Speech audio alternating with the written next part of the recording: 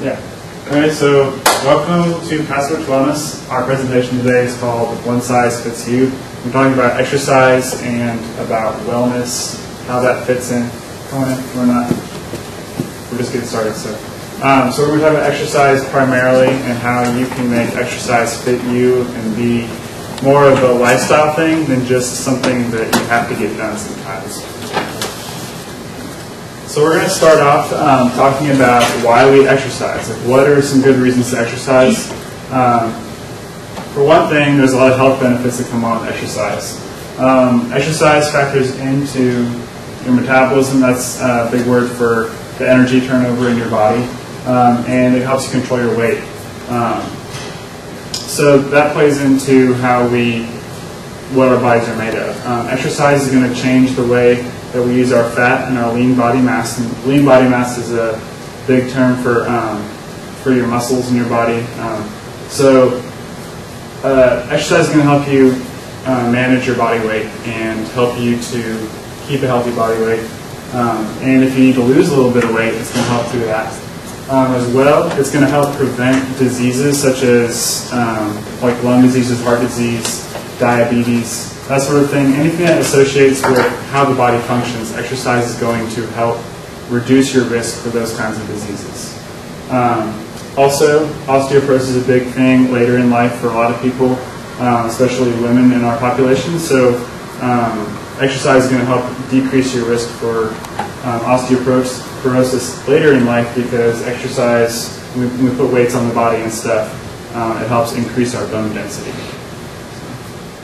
Um, some psychological benefits. Um, exercise feel, makes you feel good, uh, boosts your self-esteem, and uh, you know it's just a great way to enjoy life and have fun. Um, exercise is also a great way to manage stress. Finals are coming up, so when you're like thinking about, oh, I got this final and this final and this final, I have no breaks. Um, you know, exercise would be a great way to you know either get in before your finals or maybe after your finals and just think about anything for a while.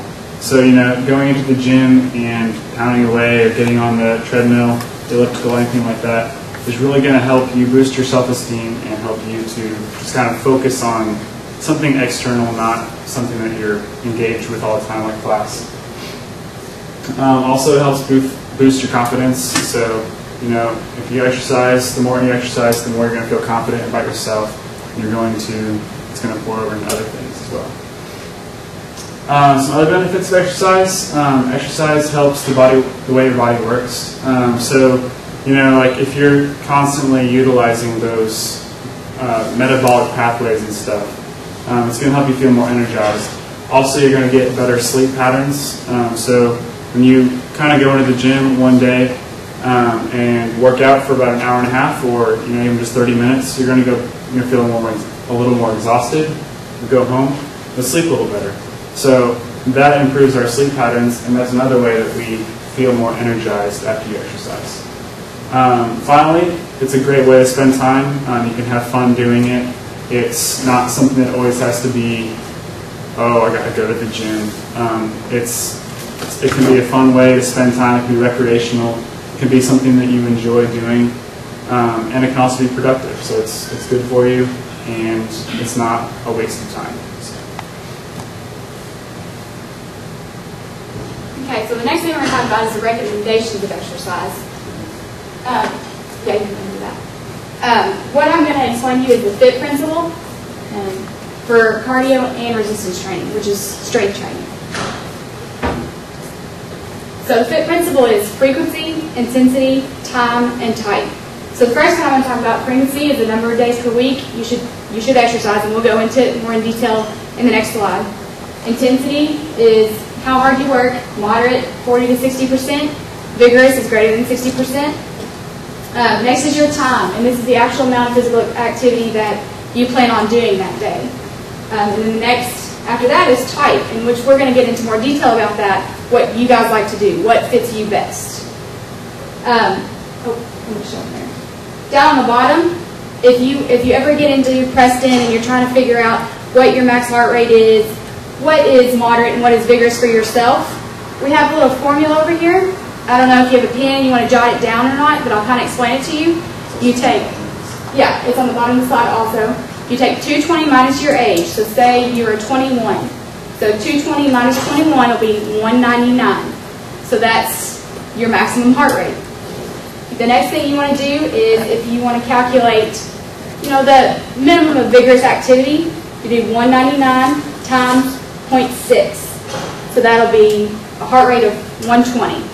If you want to do, we usually say you don't want to go any over 85% of your maximum heart rate.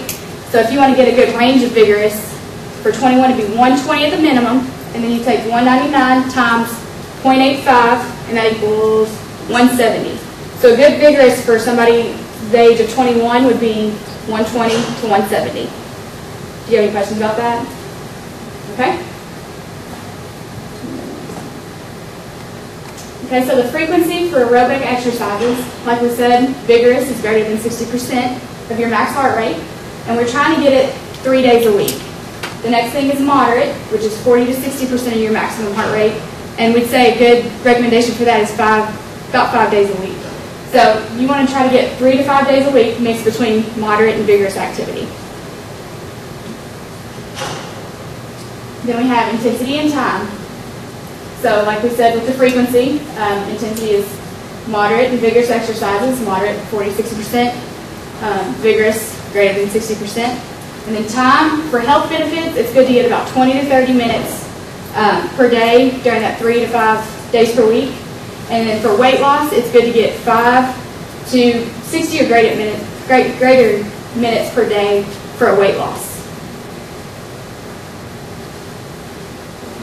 Okay, and then the FIT principle for strength training is all on one slide. We have frequency is two to three days per week. Uh, the reason we have two to three days per week is we, as you see in the time, we don't want you to uh, do a day and then a day right after that. You always want to keep a 48 hour break between just to rest those muscles. Um, so two to three days per week. Intensity is two to four sets, eight to 12 reps. So kind of breaking that down, eight reps is if you do it eight times, then take a break, that counts as one set. So two to four reps of eight to, or two to four sets of eight to 12 reps. And of course, the greater the intensity or resistance, the fewer number of reps that will need to be completed. As I stated before, the time, just give a break between, if you're working arms on Monday, give a break. So maybe do it, give a 48 hour break, then you can do it Wednesday. Um, so just separate those and you can do arms Monday, legs Tuesday. Um, then a type is multi-joint or compound exercises. A compound exercise would be something as, like a bicep curl. You're just doing one type of muscle group. A multi-joint would be something like a push-up. You're working your chest, your arms, different um, muscle groups. Okay?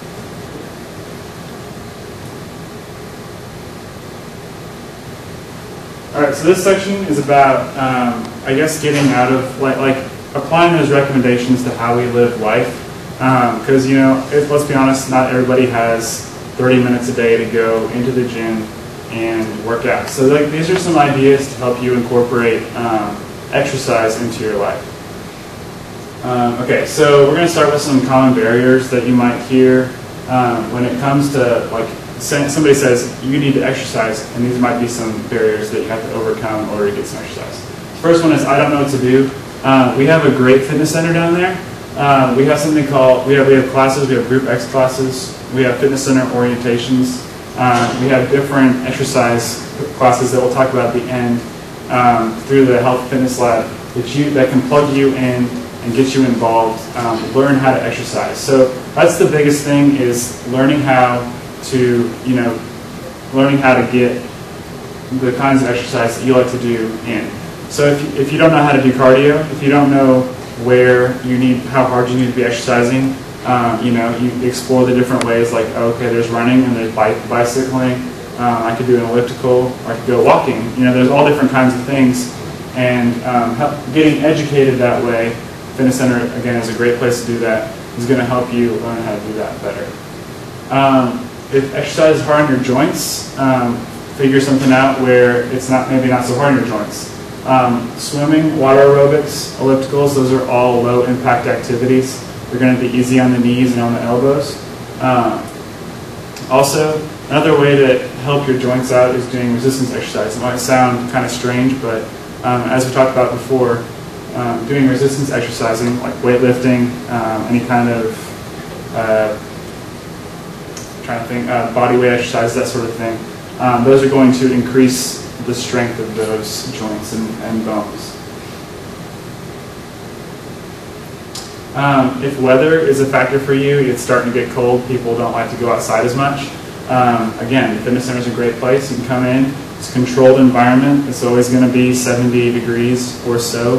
Um, so you're never going to come in, you don't, you don't need a coat. Um, so you can do weightlifting. There's the treadmills and ellipticals that you can do for your cardio. Um, and there's also, we have a pool, basketball courts, racquetball courts, um, all the different kinds of things you can do. If you are outdoor and you want to get out in the rain and the, the slush sometimes, um, that's great. Uh, more power to you. Uh, go for cycling in 30 mile per hour gale. It's fine with me. Um, also, um, running. You can go trail running. There's trails around Bowling Green that you can always get on. The Greenway is a great place to go biking if you have a bike. Um, hiking, there's also trails down by the river.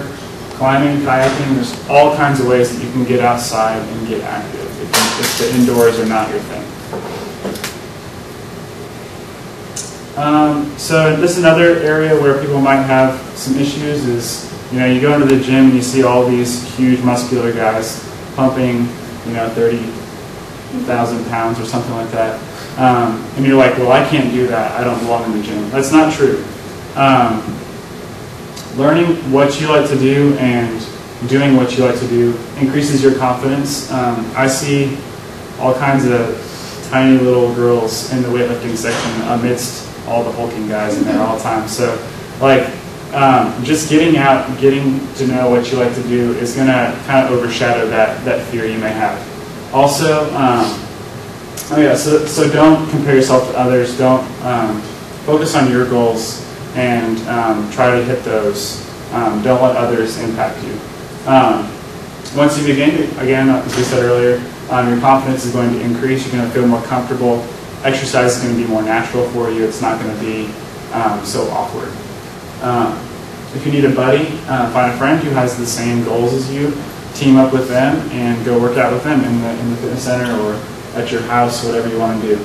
Um, another great way, uh, we have group X classes at the fitness center. Um, so there's one big class, um, they're free. You come in, you can do yoga or power pump, or you can get on a stationary cycle um, get your cardio, your stretching in. Um, and these are going to be great ways where you're following an instructor and they're teaching you how to do the movement and you are just kind of following along the best of your ability. You're not getting graded. It's, it's a fun time.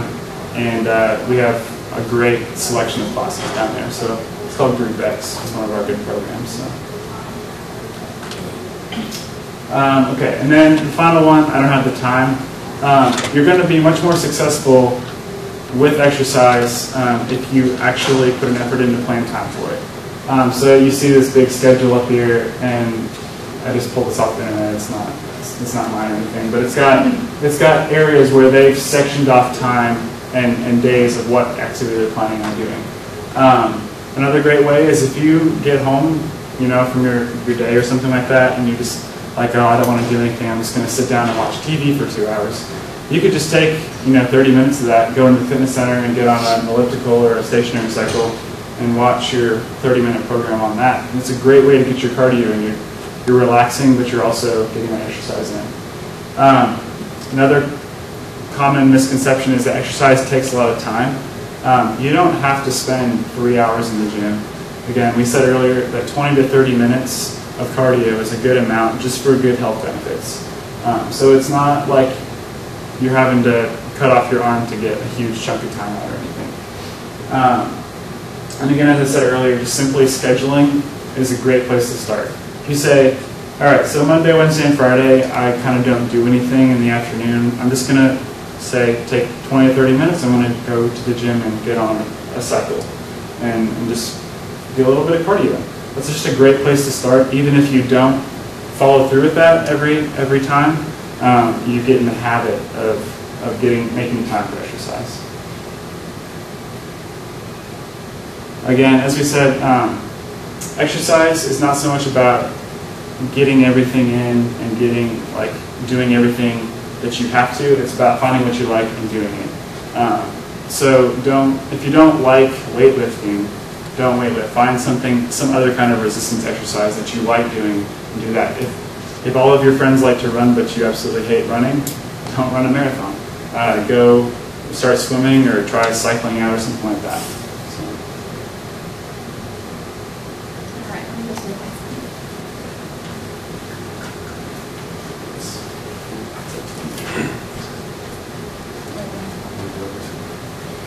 Okay, so I'm going to explain to you guys an example of an at-home workout that you can do just anywhere, at your home, outside, in your backyard, anywhere. And the only thing you really need for all these exercises are some weights, which they don't necessarily have to be dumbbells. They could be anything from, you know, two cans of, two canned goods, you know, just canned vegetables, anything that has a little bit of weight to them. Or you can have a backpack. So if you're doing squats or something, then you can have, you can wear your backpack just to add a little bit more resistance. But just use your, just be creative and try to find good things to use as weights. And also, if you guys look in your bags, there's a paper sheet of all the exercises. And you guys can follow along with me and check them out on the paper as we go along. And Santa Claus was nice enough to display all the exercises for us, but I'm here to explain in a little more detail for you guys. First, the lateral raise. So this is a good example for maybe the canned goods. You can just hold two cans of peas or sweet potatoes, whatever your favorite vegetable is, fruit, canned fruit, anything. You can just hold them to your sides, keep your feet shoulder width apart, and with your elbows slightly bent. You don't want straight elbows, it puts a lot of strain on your elbow.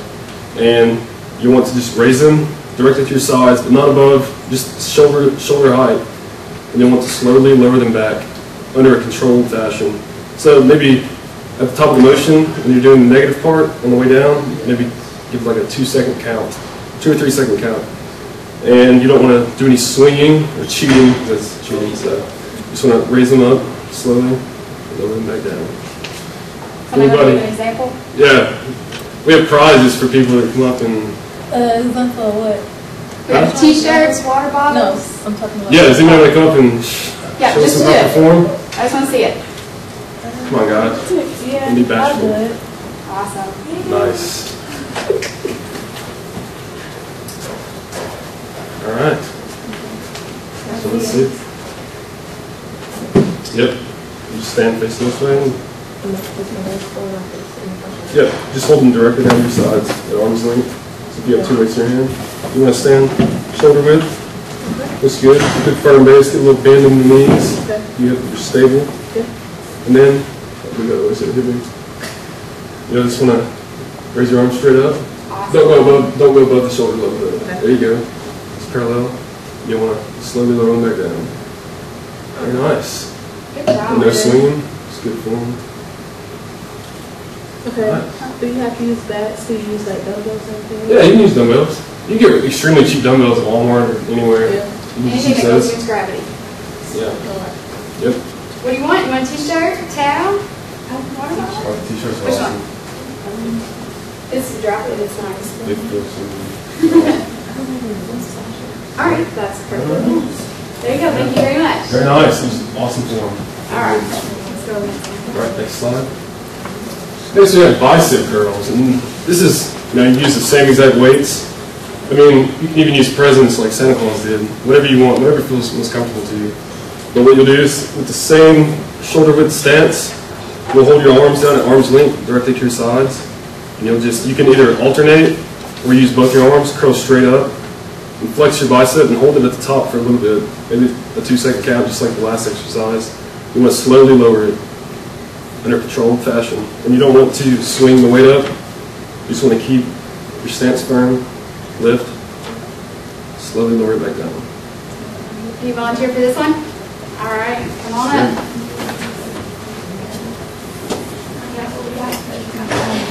See your biceps. All right. Think you got it? Yep, shoulder width, hold them directly down, arms in, up, squeeze the top, and you want to slowly lower it back down. About two count. Okay. Very good. Good. Nice. Perfect. What do you want? This one? There you go. Good job. All right. Next we have the bent over row. And this is a exercise for your back and your biceps, but mostly the back. What you want to do, pretty much you'll always want the shoulder width stance because this would, you're going to be most stabilized in this stance. And what you'll do is bend your legs slightly and then just bend over but keeping your back straight and don't let it hunch over anything because that's going to definitely put a lot of unnecessary strain on your lower back. You want to keep it straight and just hang your arms directly down from your body wherever they fall naturally is where you want them to be. And then you can curl your hands inward, twist them, and pull directly up and squeeze your shoulder blades together and slowly lower them with another two count. Two counts is just a good general rule. So you come up, squeeze shoulder blades, slowly lower. Let's try this one. Anybody? It's easy. It's the easiest one yet. Please. Can we make everybody do it? Yeah, everybody's gonna have to come do it. All right. Okay. You get some props to work with. Oh, nice. Just wait. Those are kind of heavy, wasn't it? Yep. You want to bend your bend your knees a little bit. There you go. Keep your back straight. You want to tighten your lower back up a little bit. There you go. There you go. Just let your arms naturally hang down. There you go. Good. Just come straight up. And pinch your shoulder blades together. Good. And just lower them back down. Awesome. Very good. Look good. Good.